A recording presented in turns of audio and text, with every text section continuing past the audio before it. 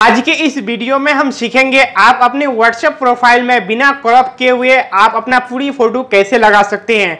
जी हाँ दोस्तों, आप बड़ी आसानी से आप अपनी व्हाट्सएप प्रोफ़ाइल में बिना क्रॉप किए हुए आप अपनी फ़ोटो लगा सकते हैं फुल फ़ोटो ये जानने के लिए आप वीडियो लास्ट तक ज़रूर देखें। अगर अभी तक हमारे चैनल में आप नए हैं, नीचे रेड कलर का सब्सक्राइब बटन दिख जाएगा, वहाँ से चैनल को सब्सक्राइब ज़रूर कर दें। साथ में बेल आइकन दबा दें, जिससे मैं कोई भी नई वीडियो बनाऊँ, आप तक आसानी से नोटिफिकेशन पहुँच जाए। चलिए दोस्तों वीडियो शुरू करते हैं। आप देख रहे हैं नॉलेज फॉर हिंदी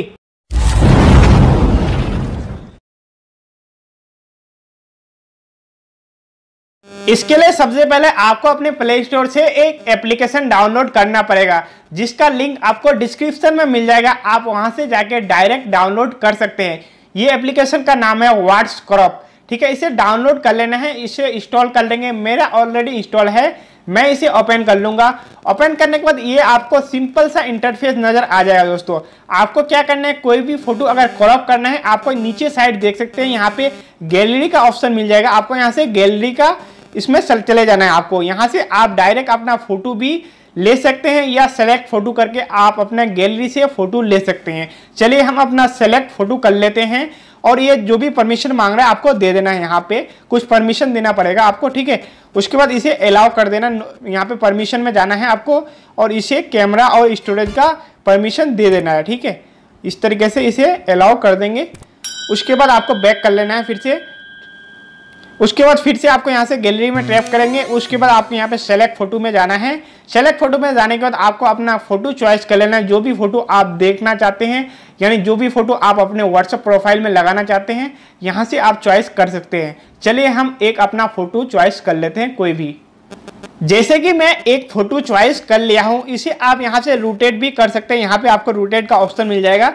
ठीक है, इस तरीके से इसे रोटेट कर सकते हैं। उसके बाद इसे जूम इन जूम आउट कर सकते हैं। आप इसे एडजस्ट कर लेंगे, ठीक है? जो भी आपको यहाँ पे राउंड बना हुआ है, इसको राउंड से बाहर नहीं होना चाहिए, नहीं तो आपका वो फ़ोटो बाहर हो जाएगा। ठीक है, इस तरीके से आप इसे क्रॉप कर सकते हैं।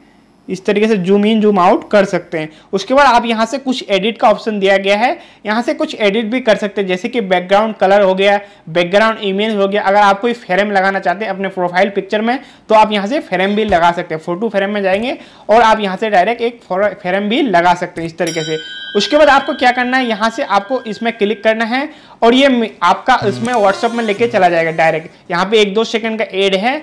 इसे एड को आपको देख लेना है, जैसे पाँच सेकंड का एड है। ठीक है, इसे कट कर देंगे।